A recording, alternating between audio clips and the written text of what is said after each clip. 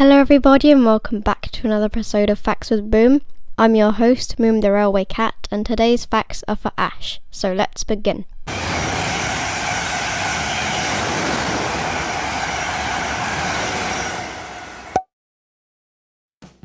Ash train station is on the North Downs line, 36 miles, 34 chains, 58.6 kilometres, down the line from London Waterloo. The station serves the village of Ash in Surrey, England. The station is managed by South Western Railway and served by South Western Railway and Great Western Railway. When the station was built, it had four platforms. However, two were removed after the Second World War, so now there are only two. When the station was opened in 1849, it was named Ash.